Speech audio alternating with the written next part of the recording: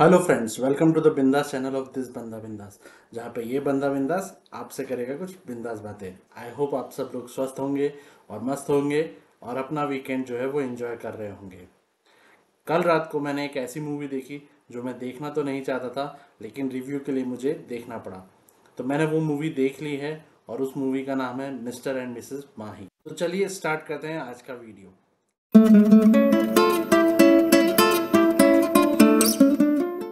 ये मूवी जैसा कि अगर आपने ट्रेलर देखा होगा तो ये ट्रेलर में ही उन्होंने पूरी मूवी एक्चुअली दिखा दी है और इसलिए कुछ उसमें नया नहीं है।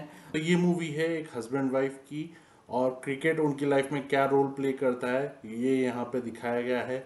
यहाँ पे और भी एक रिलेशन है जो बहुत अच्छे से दिखाया गया है, वो है फादर और सन का रिलेशनशिप जो कुमुद मिश्रा और राजकुमार राव के बीच में दिखाया गया है और कैसे उनके बीच जो कॉन्फ्लिक्ट्स होते हैं, वो यहाँ पे दिखाए गए हैं और ये एक मूवी का अहम पार्ट है।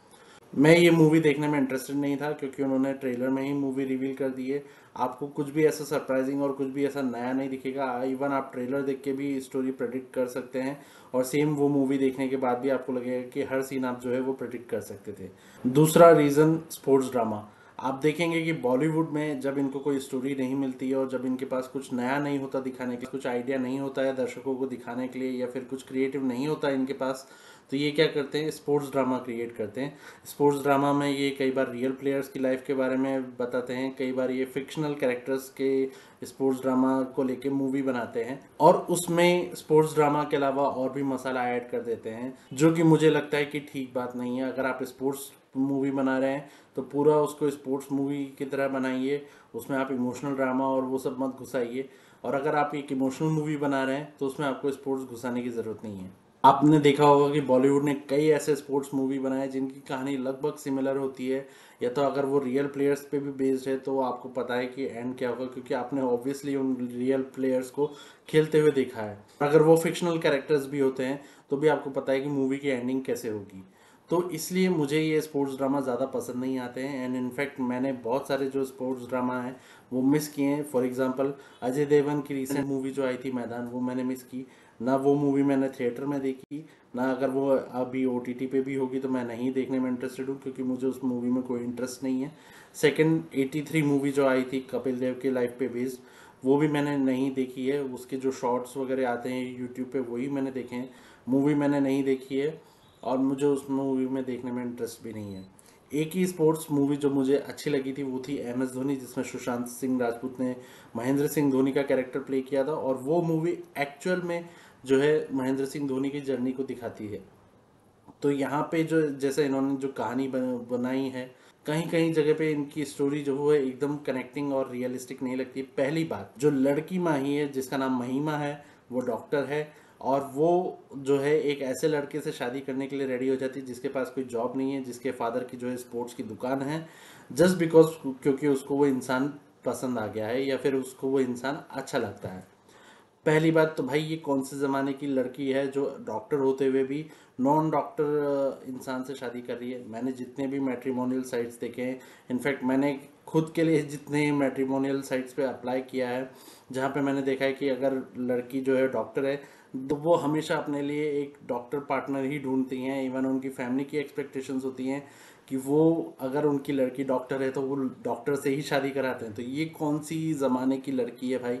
ज़रा मिलवाओ इससे जो एक ऐसे इंसान से शादी करने को तैयार है जिसके पास जॉब भी नहीं है। तो भाई मतलब कोई सेंस है इस बात की और ऊपर से जानवी कपूर। मैं उनकी एक्टिंग के बारे में बिल्कुल भी कमेंट नहीं करूँगा क्योंकि एक्टिंग मुझे उनमें कुछ दिखाई ही नहीं देती है।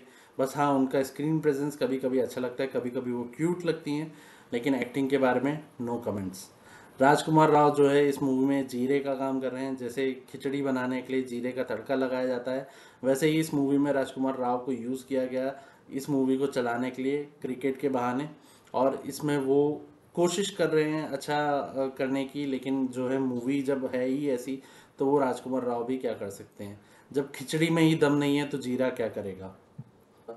ये मूवी मैंने देखी, ये मूवी अराउंड दो घंटे, बीस मिनट की है, लेकिन मुझे ये मूवी में कुछ भी इंटरेस्टिंग नहीं लगा। अगर आप एकदम ही बोर हो रहे हैं और आपके पास कुछ भी नहीं है इवन आप अगर कपल्स हैं, आप जाके एक थोड़ा अच्छा टाइम स्पेंड करना चाहते हैं तो आप थिएटर में जाके ये मूवी देख सकते हैं। वन टाइम वॉच है, लेकिन मुझे वो वन टाइम भी वर्थ नहीं लगता। मुझे ऐसा लगता है कि अगर ये मूवी ओ पे भी आएगी तो मैं नहीं देखूँगा और मैं ये मूवी स्किप करूँगा।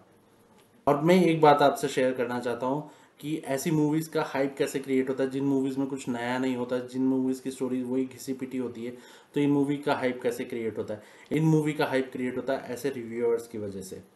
यहाँ पे ये रिव्यूअर्स अपने थंबनेल में ऐसा एक्सप्रेशन डालते हैं और ऐसे वो जो है टैग लाइन डालते हैं। कुछ फ़ेमस रिव्यूअर्स हैं जिनके अच्छे खासे व्यूज़ आते हैं। मेरे तो खैर आप लोग ज़्यादा देखते नहीं हैं तो इसलिए मेरे व्यूज़ बहुत लिमिटेड होते हैं। लेकिन इनके व्यूज़ जो हैं, जैसे थाउजेंड्स में आते हैं कभी कभी मिलियंस में इनके व्यूज़ आते हैं और इनके मिलियन फॉलोवर्स हैं तो ये अपने थंबनेल में ऐसे टैगलाइन डालते हैं और ऐसे एक्सप्रेशन डालते हैं। और और टैगलाइन डालेंगे बॉलीवुड लॉटरी और और अगर साउथ मूवी कोई अच्छी चल गई, जैसे कंतारा जब चली थी तो बॉलीवुड बर्बाद।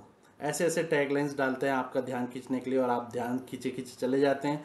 और भले ही वो मूवी कितनी भी घटिया हो, जैसे बहुत सारी घटिया मूवीज़ आई थी अभी रिसेंटली आदि पुरुष वगैरह एक्सेट्रा और उन्होंने उनको जम के प्रेज किया था। तो आप इन रिव्यूअर्स को देख के आप मूवी देखने चले जाते हैं और फिर आपको पता चलता है कि मूवी में तो कुछ दम ही नहीं था। आप देखिए कि आप किस तरह की मूवी देखना पसंद करते हैं। और आई वुड से कि ऐसे रिव्यूअर्स को प्लीज़ फॉलो ना करें। एंड अपने हिसाब से आपको जो मूवी ठीक लग रही है देखने के लिए ट्रेलर देख लीजिए, या जो रिव्यूअर्स आपको लगता है कि सही रिव्यू देते हैं, उनके रिव्यू देख के आप मूवी देखना डिसाइड कर सकते हैं। क्योंकि एट द एंड पैसा आपका है इंटरेस्ट आपका है और मूड आपका है। इसलिए आप अपने हिसाब से अपनी मूवीज़ डिसाइड करिए कि आप क्या देखना चाहते हैं, क्या नहीं देखना चाहते हैं। जैसे ये मूवी के लिए मैं बोलूँगा कि ये मूवी आप ऑब्वियसली अवॉइड कर सकते हैं। इससे बेटर कि अगर आप पेरेंट्स हैं और आपके बच्चे हैं, आप उनको छोटा भीम मूवी जो है वो रिलीज़ हुई है, वो दिखाने ले जाइए। और आई वुड से कि एक हॉरर कॉमेडी मूवी रिलीज़ हुई है साउथ की। हिंदी डब्ड वर्जन है, अरन मलाई फोर करके। आप वो देख सकते हैं, वो मूवी इससे तो बहुत बेटर होगी। अगर आप वही घिसी पिटी स्पोर्ट्स ड्रामा और वही घिसा पिटा जो फॉर्मूला नहीं देखना चाहते बॉलीवुड का, मैं इस मूवी को दूँगा दो स्टार्स जस्ट बिकॉज़ कि ठीक है वन टाइम वॉच था मैंने देख ली है, लेकिन इससे ज़्यादा नहीं। और मैं बोलूँगा कि अगर आप अवॉइड कर सकते तो अवॉइड करिए। नाइन्टी नाइन रुपीज़ की टिकट्स हैं तो आप अगर देखना चाहते हैं तो देख लीजिए इट्स अप टू यू लेकिन मुझे देखने के बाद कमेंट में ज़रूर बताइएगा कि आपको ये मूवी कैसी लगी। अगर आपको ये मूवी बहुत अच्छी लगी तो भी बताइएगा। और आपको लगा है कि ये मूवी अवॉइड कर सकते थे तो भी मुझे बताइएगा। तो यही था आज के वीडियो में। अगले वीडियो में मिलते हैं। तब तक के लिए टेक केयर